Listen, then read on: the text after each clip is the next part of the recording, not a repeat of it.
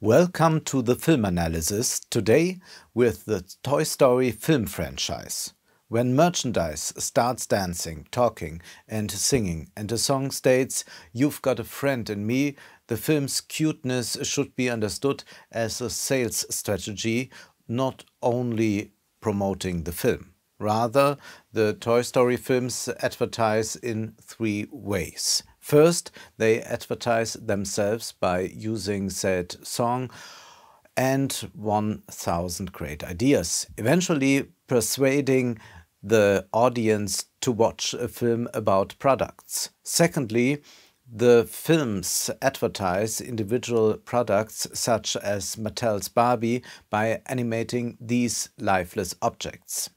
Animation films are obsessed with the idea of animism. Thirdly, the film advertises consumption and its promises. Toy Story is nothing short of an advertisement for capitalism, nicely packaging its essence like a commodity. Now and then we may tear open the wrapping paper. Of course, the film suggests another reading, friendship in different forms. One is about the friendships of people with toys, that is, goods. One is about the friendship of Andy and later Bonnie or to the toys. The toys befriend each other as well talking cleaning products and dancing mascots have existed ever since advertising has existed. But in 1995 with Toy Story, advertising became a film's entire principle, a first. What are all the films about? A child owns toys, in more general terms, merchandise. These goods come to life when the child is absent. In each Toy Story entry, the toys worry about not being loved enough by the child. These living goods mirror the child's view of toys. A child plays with the doll as if it were alive, as the first Toy Story illustrates. In it, two toys compete. The astronaut figure Buzz threatens to replace the cowboy figure Woody. As in film history, sci-fi replaces the western. At the same time, the astronaut represents a space cowboy. What happens here? It's not that simple. To begin with, the goods in the children's room are removed from the sphere of exchange. Adults have bought this toy for a child. Regarding commodities, one must first distinguish between use value and exchange value. Exchange value signals what the respective commodity is exchanged for. Today, money represents an abstract exchange value. Say the toy amounts to $100. In pre-capitalist time, one could also imagine exchange values working differently with goods being exchanged directly for each other. I hand over a Nintendo and receive a PlayStation in return. Then there is the use value. What am I using the commodity for? This question is only asked by the buyer, not the seller. In Toy Story, for example, Andy's parents or Andy himself wants a toy. He wants to play with it and brag about it. Use value does not only refer to usefulness, as the Rolex example demonstrates. A Rolex shows the time. It has another use value, it also signals social and economic status. Nobody would buy a Rolex only for the reason to tell the time.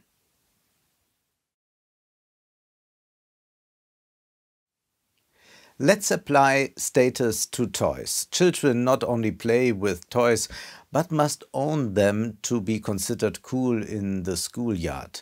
That too is a use value. In his fantastic book Critique of Commodity Aesthetics, the Marxist philosopher Wolfgang Fritz Haug has described how exchange value and use value are related. He writes, From the point of view of exchange value, all that matters up to the end, namely the conclusion of the contract of sale, is the promise of use value of one's commodity. Here, from the outset, there is a strong accent because it is economically functional on the appearance of the use value, which, considered in the individual act of purchase, tends to play a role as mere appearance. The aesthetic of the commodity in the broadest sense, the central appearance and meaning of its use value, is detached from the object. Appearance becomes as important and in fact more important for the execution of the act of purchase as being. What is only something uh, but does not look like being is not bought. What appears to be something is probably bought. End of quote. The value proposition plays the decisive role. This includes Andy finding a friend in the cowboy figure Woody, in line with the advertising strategy enticing the viewer to buy.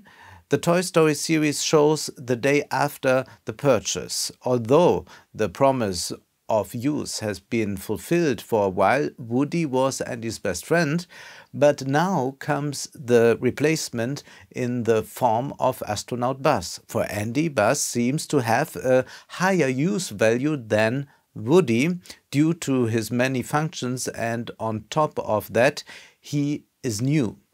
Now both goods compete for the customer, a typical nursery situation.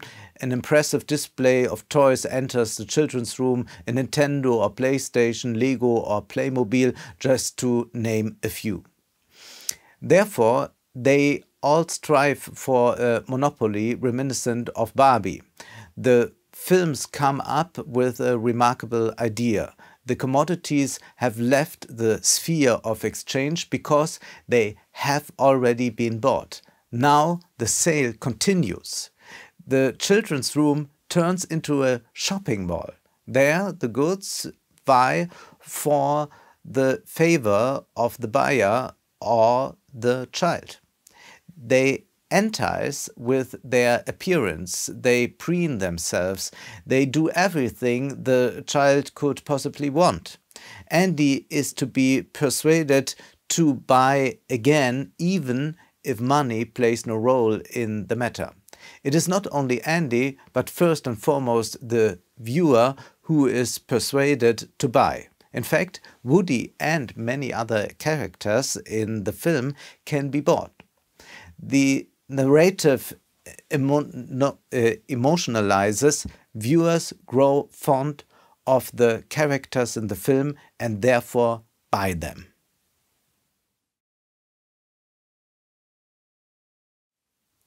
In the first Toy Story, Woody and Buzz compete. Eventually, they both achieve their raison d'etre.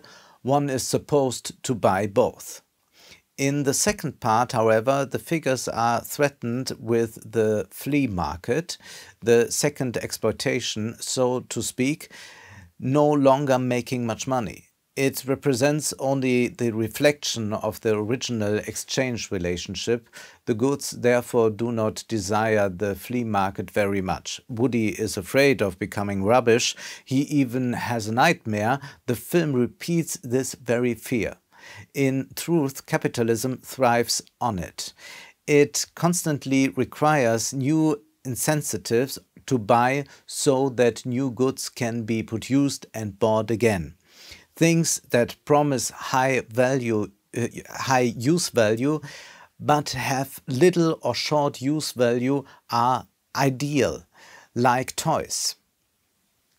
Children want something, play with it for a few days, then it lies in the corner and they need something new again.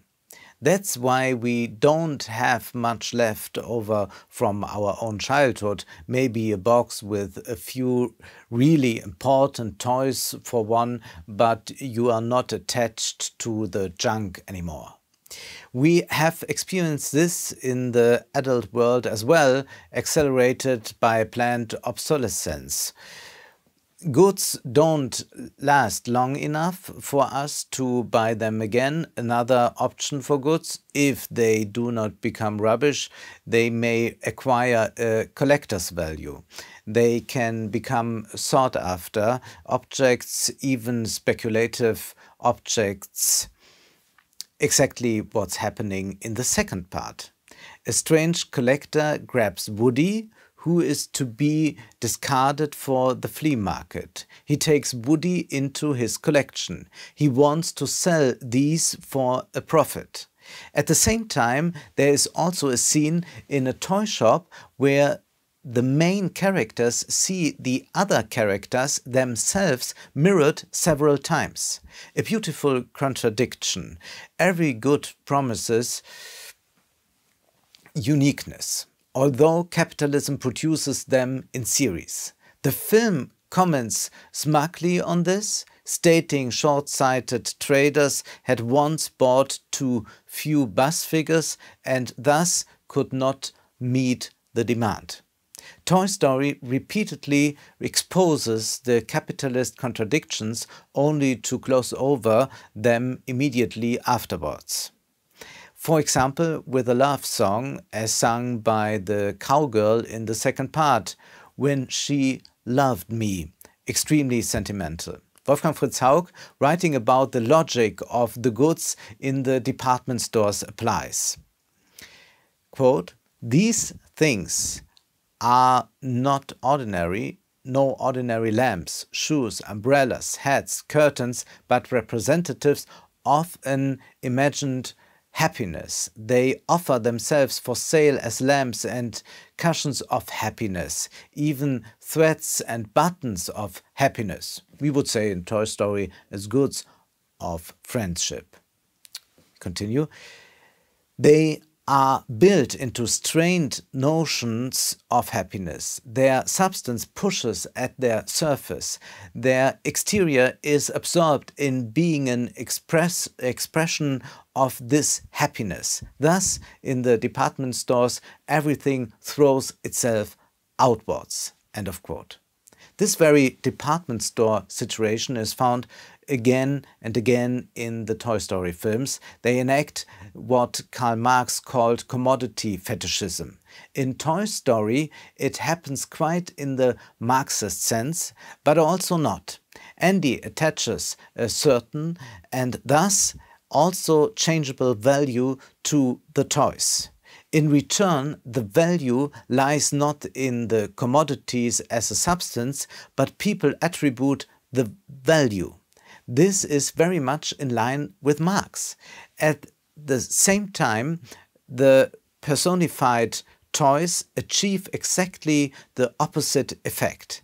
They pretend to have value as commodities in themselves. Karl Marx writes something interesting about the relation of the commodity fetishism. Every commodity consists of human labor.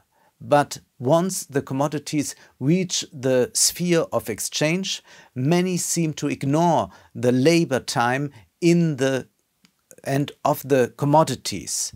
The processes of production seem invincible, Marx writes. This, according to him, aligns with religion. Quote, in order, therefore, to find an analogy we must take flight into the misty realm of religion.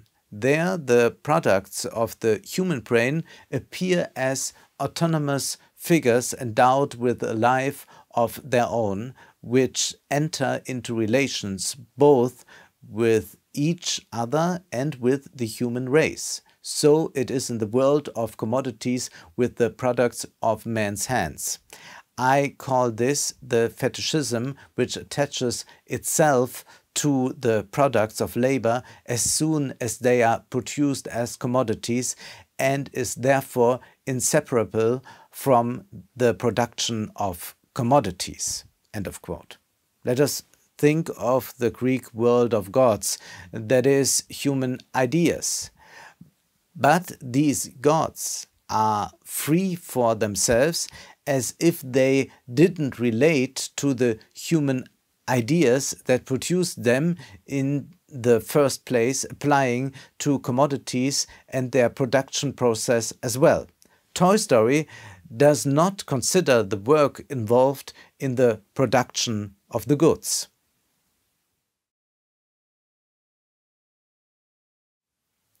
The fourth Toy Story part does not deviate from this, but adds two new aspects the shop worn goods and the rubbish. During the Odyssey in the fourth part, Woody comes across a doll in an antique shop that nobody wants. The film is now also about this doll being sold to women. The modern economy is afraid of shopkeepers. What now? The warehouses are getting smaller and smaller. That's where the dead capital is stored. Goods that no one wants are shredded or end up in the rubbish. All the Toy Story films show this. If the value proposition no longer holds, that is, if the marketing campaign doesn't work or the value of the product evaporates, then goods are rendered rubbish. The Toy Story films tell this symbolically with a coming of age story. The child is too old for the toys, and when we look at the goods in the department stores with uh, childlike eyes, we are adults at some point and realize did I really need that? The aspect of waste matters too. Goods stem from waste. The girl Bonnie makes a little figure out of an old discarded spoon, a few other details, and calls it Forky. A recycling process. See stonewashed jeans or shabby chic in furniture, things seem old on purpose. Rubbish becomes commodity again. It enters the sphere of exchange once more. That's what part 4 is about. With Forky, Toy Story at least once shows Bonnie producing the product a rare moment. But at the same time, we forget it as soon as Forky comes to life, transforming himself, as Marx would say, into a super metaphysical thing. The film sells a critique of consumption that is not a critique. It supports consumption precisely because the film insists on the value of commodities, warns us to throw them away carelessly and ask us to become attached to them. Above all, Toy Story helps ownership remain as it is. Apart from the third part, Andy brings toys to the kindergarten. There, the bear explains here in Sunside, in Sunnyside, we don't need owners. All the toys are free. We oversee our own happiness. The beer describes uh, socialization without property or ownership, even a classless society. However, one per person does rule the bear who turns out to be the villain in the film. He represents a somewhat socialist dictator. Is Hollywood fighting socialism again? No and yes. No, because in the end, most of the toys, including Barbie, stay in almost communist Sunnyside, as the credits also illustrate. Yes, because the important main characters only change hands. Bonnie takes over Andy's toys, but both in the film and in reality, only the goods seem to be free, while the appearance of the goods causes us only to watch, but not to see. It would be nice if you would like to support the film analysis financially. You can do so via my bank account or PayPal. Also, you can find me on Patreon. Thank you very much.